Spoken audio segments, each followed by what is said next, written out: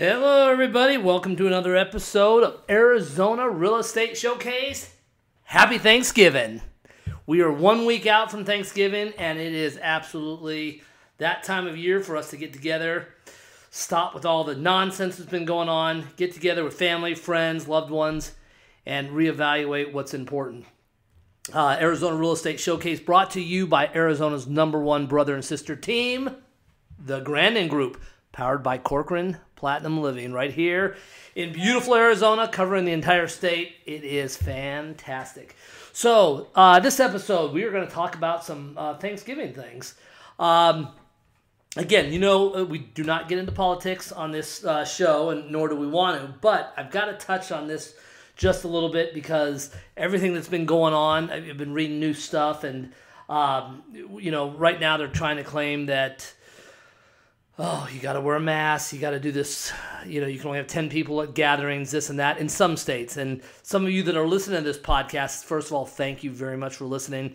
Making Arizona Real Estate Showcase, one of the number one real estate podcasts in Arizona. Um, but, anyways, hey, I feel for you guys. And I got to tell you, uh, again, I don't want to get into your politics and stuff, but there is no way that you guys are going to be able to let these clown governors dictate how many people you can have over, constantly wearing a mask, which don't work. And, um, you know, we got a vaccine on the horizon and then allowing everybody to lie about this. This is something that we all got to stand together with, especially moving forward in the real estate market.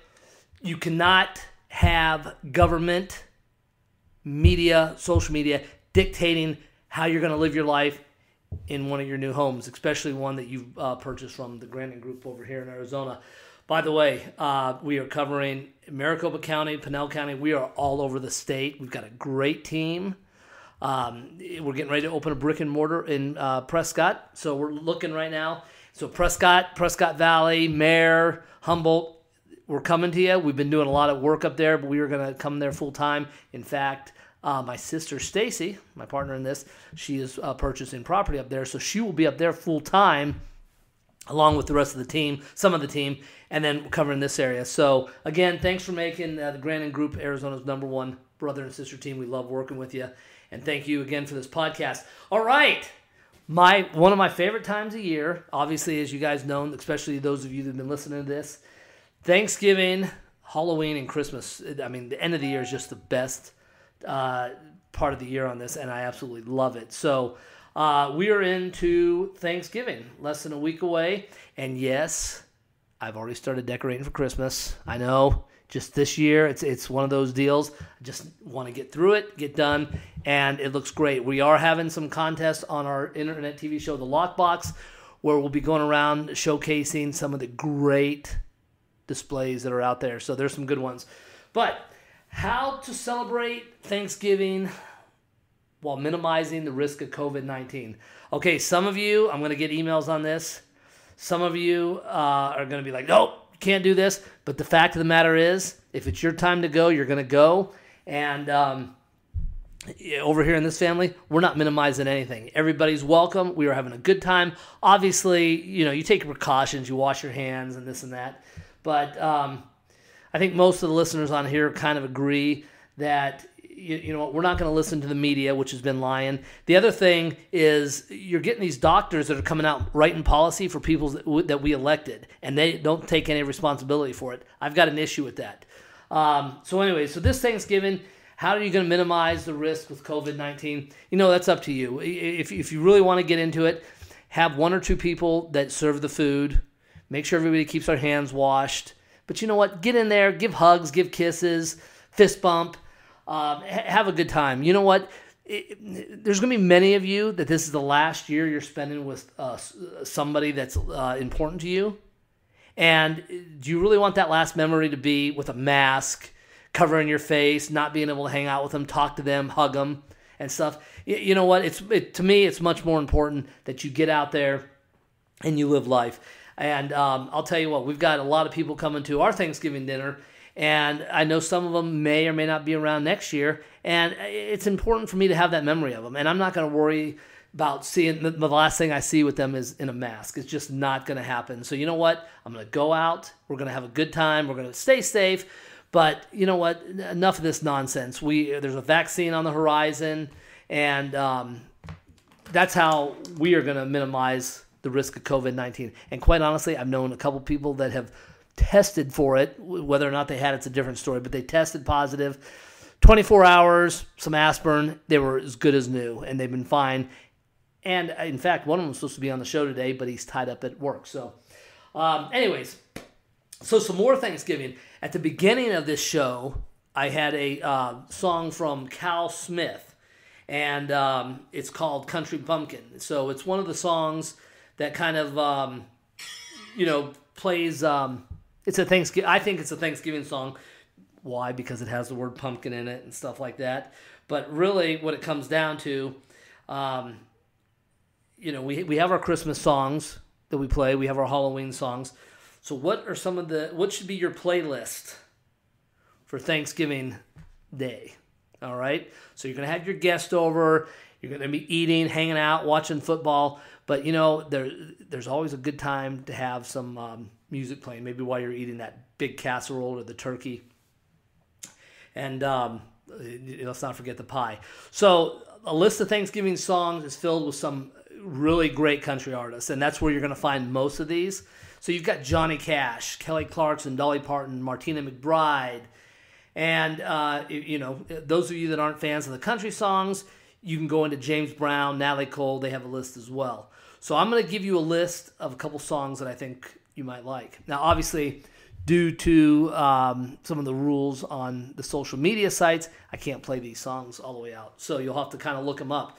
But okay, so one of the real popular songs, and, and some of the older people might know it, I highly doubt the younger listeners are going to know, Ray Davies, Thanksgiving Day. It's a good song. Um, thanks for our health. Thanks for our health, uh, hearth. And uh, I've got plenty to be thankful for, all that. So, uh, and Bing Crosby, also the king of holiday music, has has that song. I've got plenty to be thankful for. So that's another good one you can add on to your uh, playlist. Mary Chapin Carpenter, who is an excellent country singer, been around a very long time, Thanksgiving song, and um, you know it's a it's a good one to play. So if you're looking to you know try to get you know at least an hour of music, uh, the other band that many of you probably don't know is the Shins, and they've got a song called "Young Pilgrim," which is absolutely perfect, especially for you more traditionalists for Thanksgiving. Now, the song you heard at the beginning from Cal Smith, Country Bumpkin, I've, I've listened to that song since I was younger, and it's been one of my favorites. It's um, about a, a guy who meets this gal in a bar room, and the relationship goes from there, and it goes through the life of her, but being stated as a pumpkin. So they meet, hello, country bumpkin, House of Frost on the pumpkin, as a young person, and then as she slowly, uh, you know, has a baby, and then finally reaches death, the song kind of reflects on it. So actually, if you listen to it, it's one of those, you know, if you're sentimental at all, it's going to bring tears to your eyes.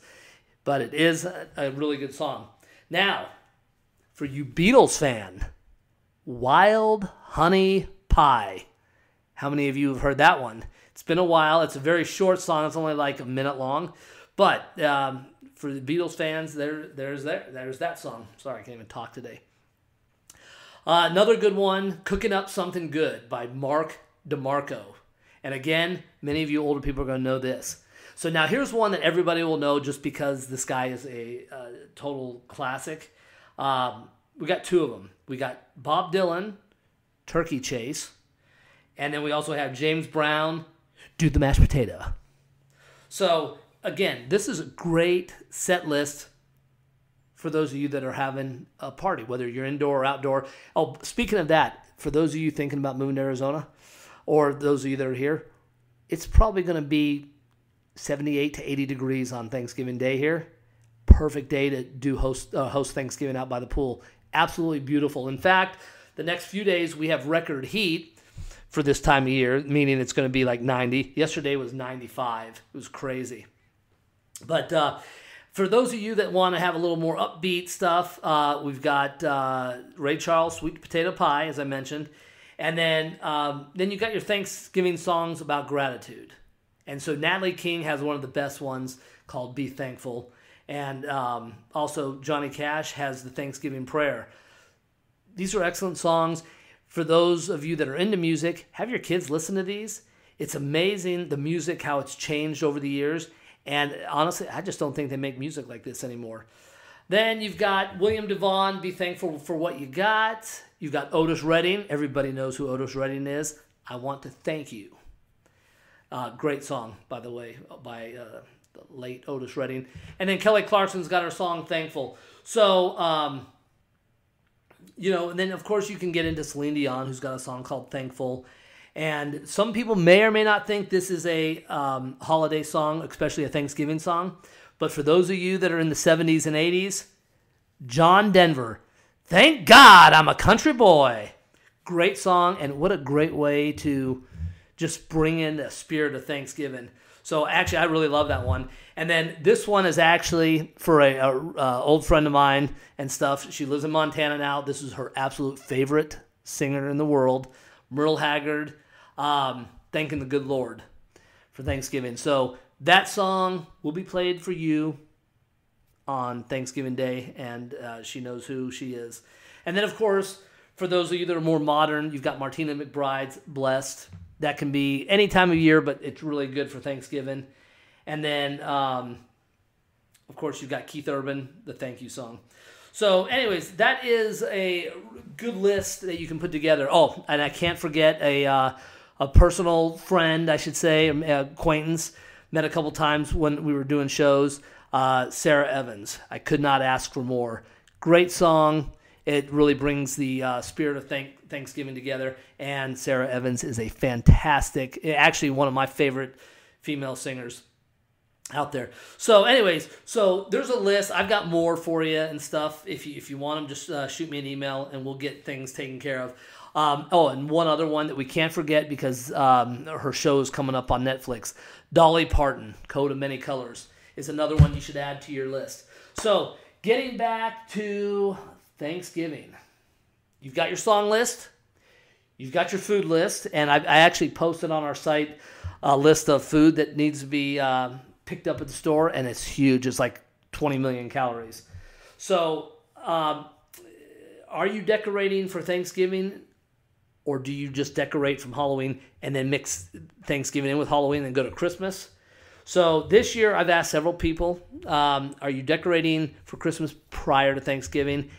And I've got to tell you, out of the 20 people I've asked, probably 13 or 14 are decorating for Christmas. So their house is going to be decked out and ready to go uh, next next week.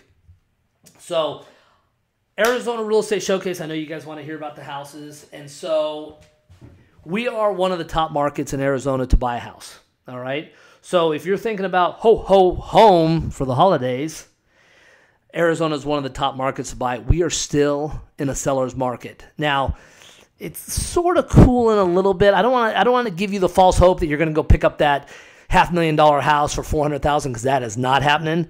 But um, the, we're starting to get a, more, little more realistic with the prices, and you're going to see um, you're not going to see drops, but you're going to see more realistic pricing, which is going to bring more people um, to the market, which is going to have a little better um, offers for the sellers.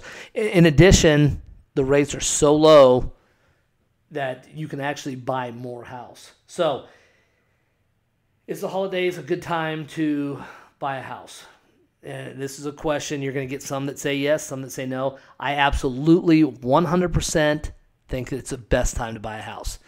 So there is nothing better purchasing a house. You're busy, you're getting ready for Thanksgiving, Christmas, whatever. But I got to tell you, there is nothing better than having that home cooked meal in your house, moving your boxes in, getting the house ready for the holidays, and being able to spend that first Christmas. Now, it's it's a different feeling from moving in March, waiting for the holidays to come up, compared to moving in November, December, waiting for the holidays. It's just it's a totally different feeling. I know a lot of you know what I'm talking about, but it's a great time to really get in there.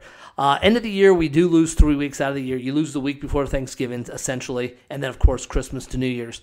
So um, if you're considering purchasing a house, make sure that you got a great title company that's going to be able to um, push this paperwork through. Make sure you got a good lender that's working that you can get a hold of off hours, and um, and then of course prior to uh, closing on that house, go get those Christmas trees, get those Christmas decorations, uh, Hanukkah decorations, whatever you celebrate. And the day you close, before you move that box in, get those things set up. It is such an amazing feeling. And I get people telling us all the time, you know, they, they, um, they're just so excited. It makes the holiday so much better. Plus, it's a memory that's going to stick with you forever as you move into your new house. So, so top markets for holiday sales over the holidays. I don't agree with this list that was sent to me earlier by Realtor.com. They're trying to say it's uh, you know New York, Pennsylvania, Massachusetts, Maine, Missouri. Come on, you know what? Everybody's moving out. Arizona is a state that doesn't have a big lockdown. Uh, everything's open. People are out shopping, having a good time. You can hit the gym. Um, you can go to the stores, and you're allowed to have more than ten people over at your house Thanksgiving. Arizona is one of the hottest markets in the country. Prescott is an incredible market, which is just north of Phoenix. So, for those of you thinking about coming out to Arizona, call us up. We'll send you a list. It's a great time. Come out here and visit us. It's it's a fantastic time. And um, so, as we get ready to close up for Thanksgiving, there are uh, I mean, there's so many different ways to do things are you a family that uh, has a traditional Thanksgiving where you have 20 people at the table and the turkey's out there? Or does everyone just kind of build a plate and then sit wherever and watch football? That's one of the great things about Arizona being so casual. You can have it all. You can you can even mix it in your house. I can tell you at ours, there's a table that seats 10. There's about 30 people that show up. And so the, the ones that want to sit at the table and enjoy it, great. Uh, the other ones hang out by the pool or uh, on one of the loungers because it's a, just a great time. And we're in shorts and t-shirts, which is even better. Um, and then there's different kinds of candles and stuff. Make sure that you do not forget the fragrances. The you know I know the turkey and the pies and the stuffing are going to smell up your house, so make sure that when you're out there um, making all that stuff, make sure you get a good candle that um, benefits the smells that kind of complements the smells that are going in your house. Cinnamon, apple, um, pumpkin spice. Those are all good mixtures that mix in with that incredible turkey you're going to be making.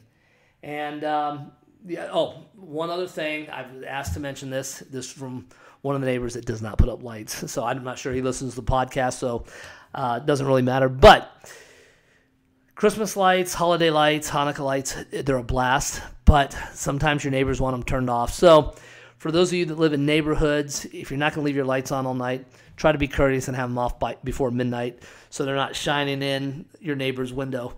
Or just make sure your lights aren't shining in someone else's window, and that way you won't have any issues with um, with uh, your neighbors not wanting your signs. Anyways, hey, I hope you guys have a fantastic Thanksgiving. The um, I know this is kind of more just rambling and stuff, but it's important you have a great Thanksgiving. Seriously, take consideration of um, and, and count your blessings.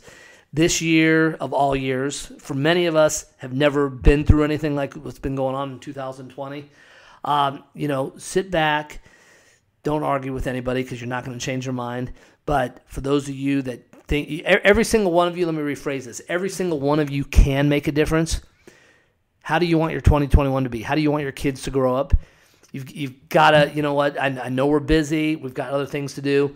I spent the past uh, six, seven months working on different campaigns here to try to make a difference. And some of them worked, some of them didn't. Now we're seeing that uh, a couple of them with some of the propositions may have been frauded. So you, know what? I, I know you've got better things to do, but you've got to get involved. You have to get involved. One for your own sanity, two for your kids and your family, and then for your community. If you want your community to be the way you envision it, like in Christmas Vacation, which is a great movie, it's also a great Thanksgiving movie, and so is Planes, Trains, and Automobiles. But let me, I digress. You, you have to just put that letter together, send it to your local senator. Um, and stay engaged. It is so important. And you know what? Stand your ground. If you really truly believe in something, stand your ground.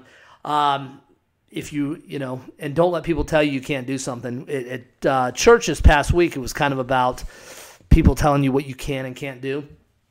For those of you that are out there renting right now or thinking you can't buy a house, you're not making enough money, you're incorrect.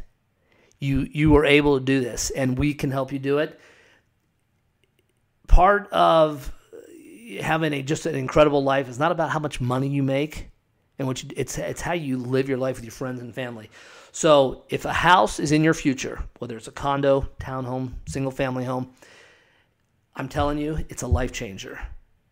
I, have had we sold a, young kid this year, 18 years old. He just turned 18. His parents helped him buy a house, condo, and um, I got a call from him the other day, and he was like, you know, Jason, I, I never thought in a million years that I have to do my own laundry, I have to do my own dishes, I have to buy my own dishes, I have to buy my own um, furniture, clothes, do my wash. And he said the first week in the house, or the first couple weeks, he went through his clothes and they were all dirty, and he had to be at work the next day. So he had to wear dirty clothes to work, and he works in an office. And the the amount of responsibility that comes over you, um, while it doesn't sound that appealing, I'm certainly not making it sound that appealing. He was just really thankful and said, "You know what? I just uh, appreciate it, and I can't believe how much my parents did for me prior to this." And so now he tells me that he spends one day a week making sure his laundry's done, every night doing dishes, making sure the house is clean. And he said, you know, now he has 10 hours a week that's dedicated just to maintenance.